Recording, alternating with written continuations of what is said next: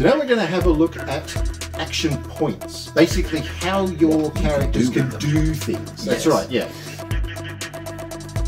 So during each activation, a character is normally granted two action points. All right, we talked about leaders; they get an extra action point, and you can get cool. additional actions through Yeah. various things as well. All right, they'll come that, that look on the character cards, and it'll tell you there. Generally speaking, normal characters will just have two. But having actions is good. There's lots of things that you can do, um, and they, if you have a look on page nine of the rule, that's where we are now.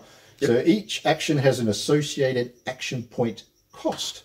Actions can be taken in any order and may be repeated, but each action must be fully resolved before proceeding to the next. That makes sense. Makes absolute sense. Alright. So let's go through them. The most common one is move. All right, so one action point. You move the character's model up to its MV stat in inches. Pretty straightforward. Mm. If a model makes a move action while in base contact with an enemy model or models, multiples, those enemies may target it with a disengaged strike before it moves. Yes. And that's bad. That's really That's bad. Yeah, don't, Especially don't if get there's surrounded. If you get surrounded, it, it's a problem. It's a real problem. Um, for two action points, You so an all in, you can charge. so it's essentially you you don't use the move side of things. You use the CH or the charge stat, which is Yeah. usually a bit higher. Yeah, it's not not usually uh, like quite double. For most like humans, it's it's just shy of It's just double. yeah, just a little bit more. So basically, the move up to its charge stat in inches Mm-hmm. and move into base contact with the targeted enemy model, or whatever distance it needs to be to make Yeah. whatever attack So you, it's you, going to do. you have to declare someone within line of sight as your intended target Yeah. in order to charge them. Yeah. And then you move your charge distance, and as long as you can get into base contact with that model, your charge is successful. That's right. Yeah. So a model must be able to reach its target with a charge action. Does not have to travel in a straight line, which is handy. Yeah. And if it's engaged with an enemy model or models, you can't charge. Hmm. It's too hard.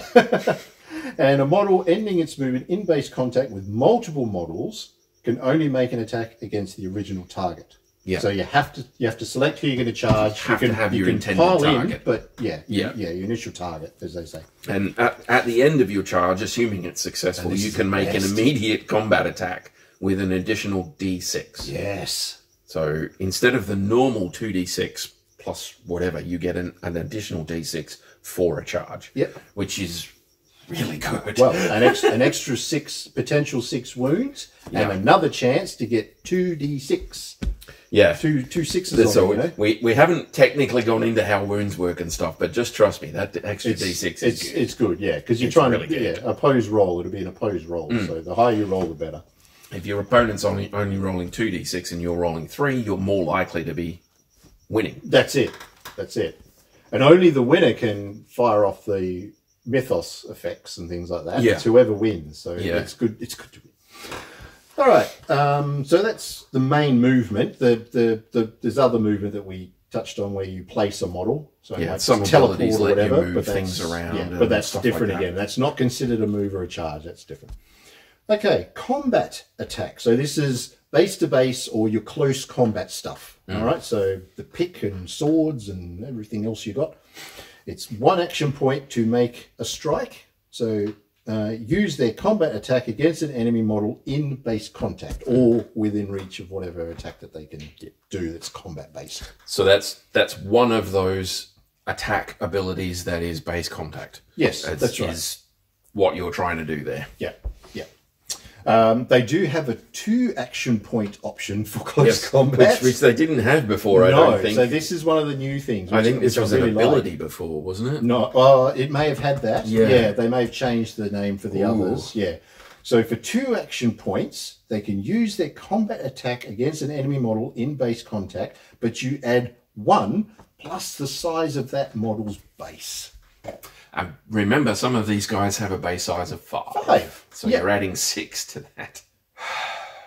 but it does cost you two.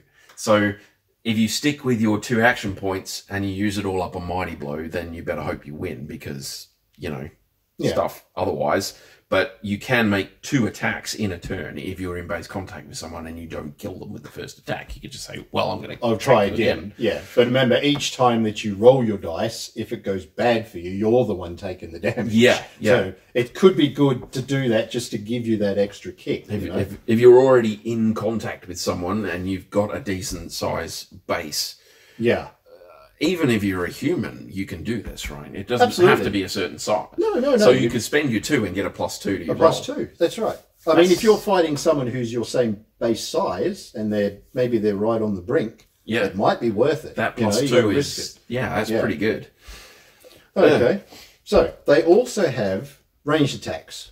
So for one action point, you make a ranged attack against an enemy model that is within range and line of sight, but you can't target enemy models that are engaged.